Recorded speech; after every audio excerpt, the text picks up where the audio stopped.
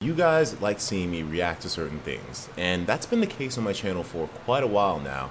Back last year, my channel blew up because I was reacting to Attack on Titan stuff, and it kind of fit the mold of the time because, you know, AOT was really hot back then.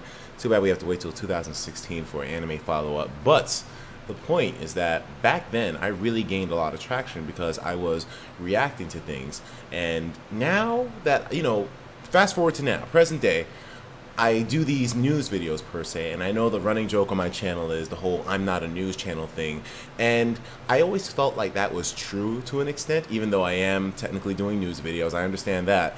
But somewhere along the line, I think I forgot what it was to do a reaction based video over a news video. Because if you guys don't know, doing news was kind of the thing that I used to do when I first started my channel. Like I would react to random articles on the web, and then I just condensed it down to gaming. But I went through a whole lot of phases um, in the middle of those, um, in the middle of now, and at least when I started my channel, because now and when I started, I do news. But th that's the thing. Like like I don't feel as if I'm supposed to be doing news as much as it's supposed to be me reacting to it like another human being. I know a lot of you guys what you like about me is the fact that you know I don't know, like I'm able to fucking talk to you niggas as if you're in the room with me. And that's usually the case with how I feel about a lot of these things, even though I don't get feedback for the most part. Which is why I really love streaming because, you know, it's like I'm talking to you and then I'm able to hear things back.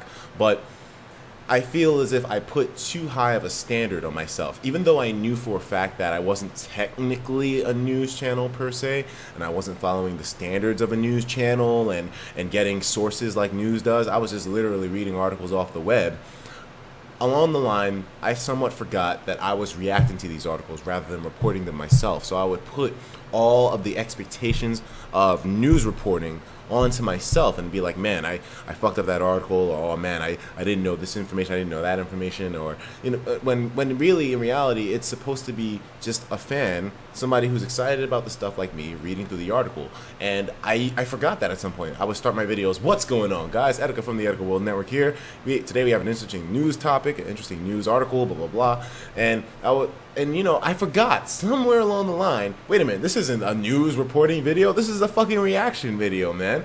And I'm going to be trying to incorporate that more often now. Like I would look at articles and be like, "Oh man, that article's too old. I'm not going to be able to cover that. It's not recent news."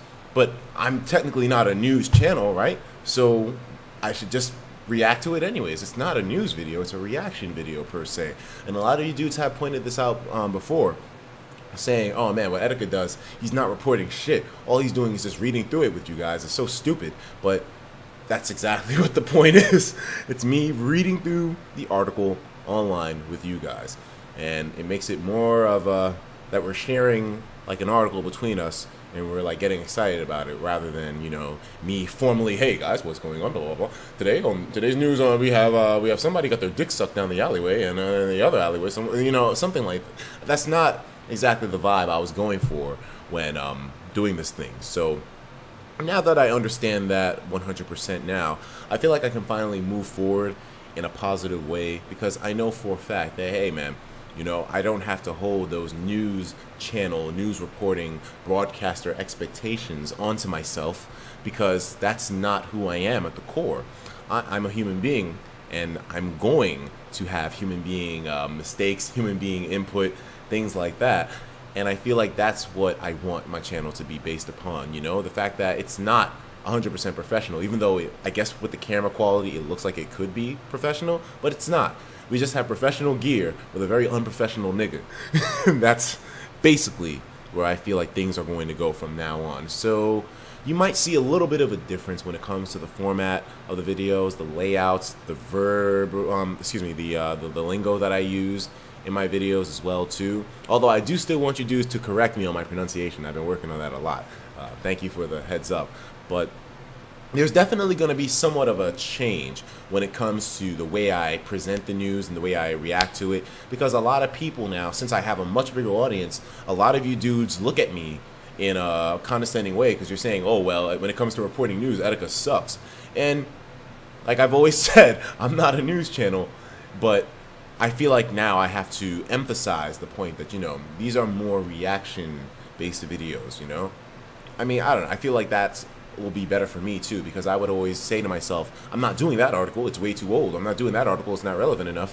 When it's not necessarily about if it's, you know, relevant or if it's new or hot or fresh. It's about if the article itself gives me an erection. And if it gives me a semi hard on, I usually I usually give it like, you know, if it makes my cock 50% erect, then I'll talk about it.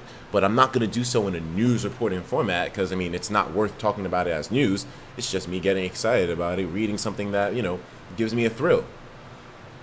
I'm going to bring things back to that root, man. It seems like a lot of you guys stuck around because you like watching me do stuff. And, you know, even if I was doing news or doing porn videos, you would still stick around, I guess.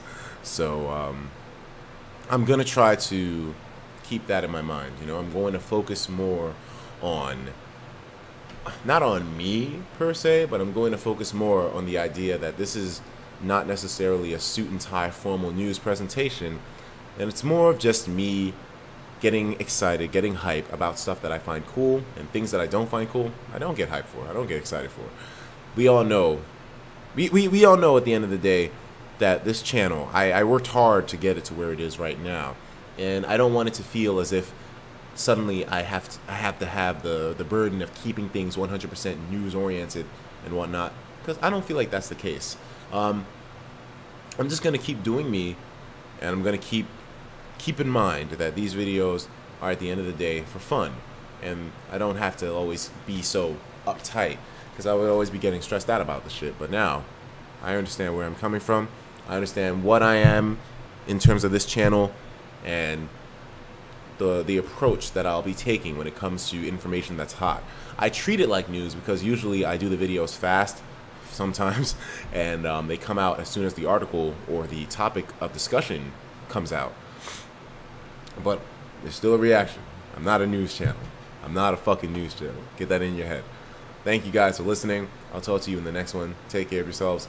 And of course, as usual, please have yourself a damn good one.